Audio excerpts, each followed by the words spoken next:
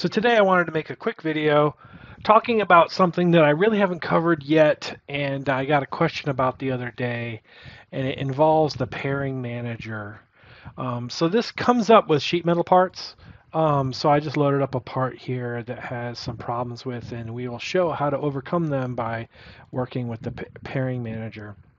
So you can see the two parts aren't aligned so we'll go ahead and align them together.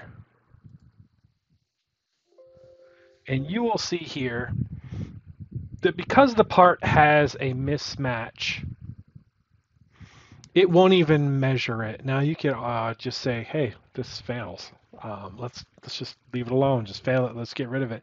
But in the sheet metal world, sometimes the the part, depending on how you make the measurements and stuff, can still pass. You still want to quantify it, and then the tolerances are kind of loose on these. So there are instances where this is an exaggerated case um, right here, but we'll go ahead and align the part in order to pair it.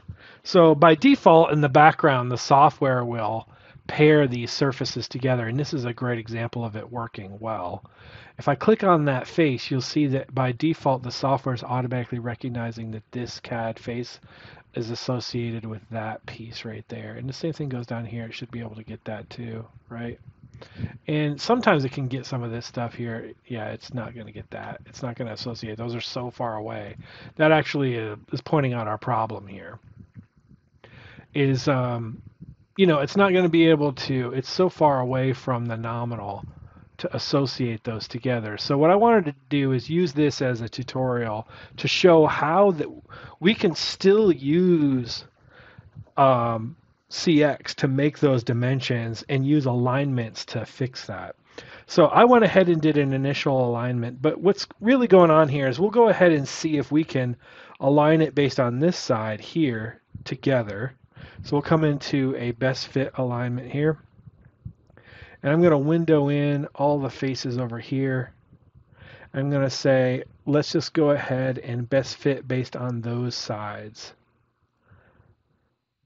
and then fit together. So you see here it fits together pretty well. And now we'll also um, come back and say I want to do a best fit based on this side. So we'll just window in here. Say best fit. It does a pretty good job there. And you can always edit these if it's not quite right and I'm concerned that it may not align. I could always remove some stuff. So let me hide the scan data to see, you know, if I want to remove that top and bottom plane here, or if I wanted to remove these guys and then recalculate it and see what my fit is like. And that actually didn't make it any better. Because it probably was using that right there. And one thing that we may want to do is let's go ahead and get rid of that. I've had to do this in the past too, where I come over to initial alignment, reinitialize that alignment, and then come over to a best fit and window those in.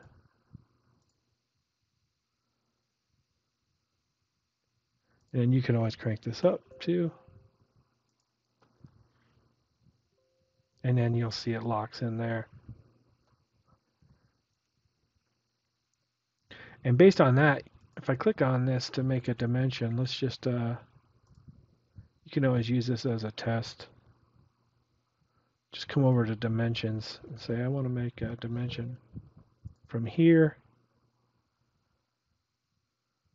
to there. Let's do that one more time here.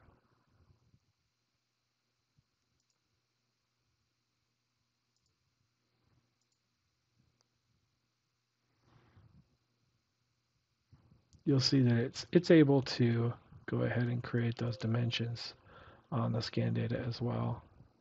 See how it's creating it. Um, so I could, just for the heck of it, let's go ahead and create one more and for that other section uh, while we're at it here. So I often use a dimension just to see if it comes out and it's able to dimension it um, just as a quick test. But you can also come into the pairing manager and see if I select all these faces here, was it able to pair them together? And you see if they are nice and delineated based on the CAD faces, that it was able to find the pairing for that, right? Um, but you could we could always do one more just to for the sake of uh, practice here. If I come over and I say I want to do my alignment based on this, and let's clear that out and do it. I'll just window in just that. There. So we went ahead and we aligned there, there, and there. And those are the order of our alignments. And then now I can just come over to initial just to put it back at an overall best fit there. now what we're going to do is use those alignments to identify the pairing that we just talked about here. So the pairing, if I go ahead and hide the scan data and just window in the entire part, you'll see, look at what it's doing. It's looking and mapping each point to a CAD face. And you'll see down here that it's actually getting it wrong. Like it may still be able to make the dimension, but it's actually getting the pairing wrong. Um, so what we're going to do is come in and clear that out, and we're going to create pairing groups. And we'll just do it the same way that we did it inside of the um, alignments. And we're going to say, I want to pair all of these CAD faces right here. And I'm going to take that group one and I'm going to say, let's use the first best fit alignment. And then I hit this checkbox here and I hit the plus box and then you'll see them turn red. So it'll go ahead and it'll align based on that alignment and then pair those points and then those points now belong to that CAD face. Now I'll come over to the second and we will go ahead and select all of these faces. Right there.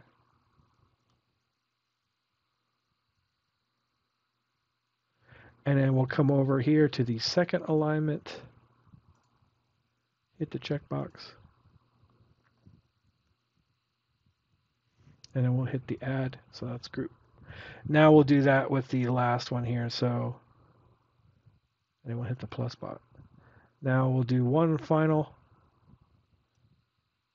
We're let's do. We're doing all of those, and we can deselect these sides.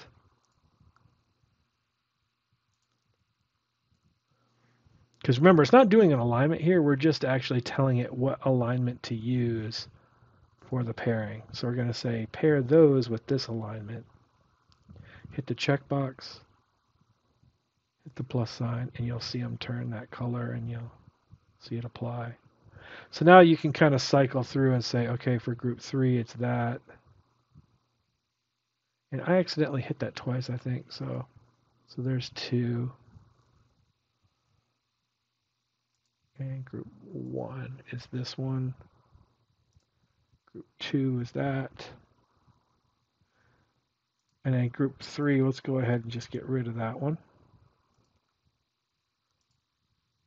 And there's four.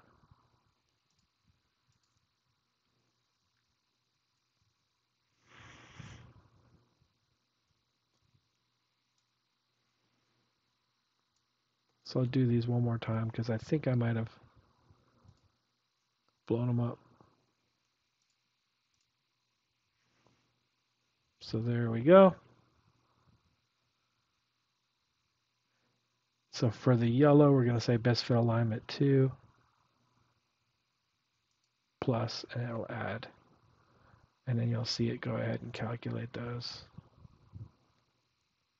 And I could always remove that one too if I need to. And then hit OK. So now it's going to rebuild everything based on those um, alignments for pairing. So you'll see that uh, while I have this crazy horrible alignment here, um, I can still create dimensions for that slot. So just like we said here, I'll go ahead and delete that slot and we'll hide the scan data just because it's easier to create that dimension. But um, those are used for just pairing. They're not used for dimensions. The last alignment in the alignments tab or the alignments group here is going to be used for the actual dimensioning. Um, so we'll come over to the home, actually dimensions tab, say linear dimension from here to there. And then we'll go ahead and turn on the, actually let's get out of here and turn on the preset detailed.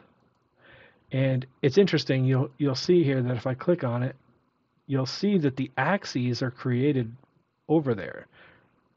And it's making that dimension for me. So I don't care about the alignment at the moment. I'm just interested in taking a pair of calipers essentially to that slot. What is that dimension? Right? And this happens a lot with there are certain things that with flexible parts that you still need to create dimensions on it, even though there's something that's drastically off. Um, so this works all the time here. If I can come over and make a dimension from here to there. And you'll see it creates those planes off in space on the scan data itself, thus creating those dimensions. And here's a great example too. From this face to there.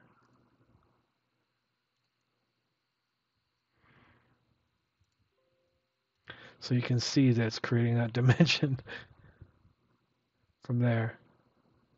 Now this is where it actually factors in the alignment of the dimension. So it's going to align that dimension based on how we're measuring it in the coordinate system right? So we're using that plane for our dimension here.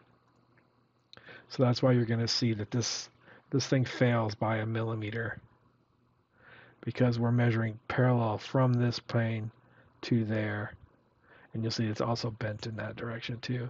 So we can also measure that. So let's go over, before I do that, I wanted to create, edit my annotation style here and just go ahead and set it to detailed from now on.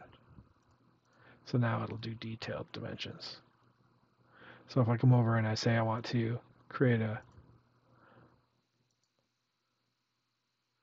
bend angle, you'll see that that is like our tolerance is, let's just do plus or minus 0.5 to keep it simple here. The dimension is 90, actual is 77 here, so we're 12.44 degrees off. And the same thing goes for over here. You know, if I come over and I say I want to hide this and pull my dimension,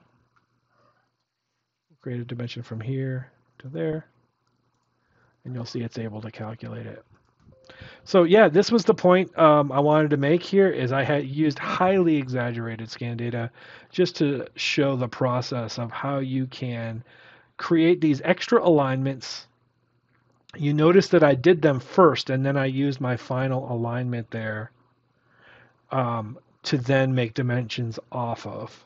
Um, but the purpose of that is um, these alignments need to be made first and then you f- make your final measurement alignment and then the pairing will happen based on those alignments but not the dimensions right and then that's how we're able to still create dimensions on a CAD model specifically sheet metal, and still make dimensions. So that is my little tutorial. I hope that helps anybody out there that is making measurements on parts like this that are have a lot of warp.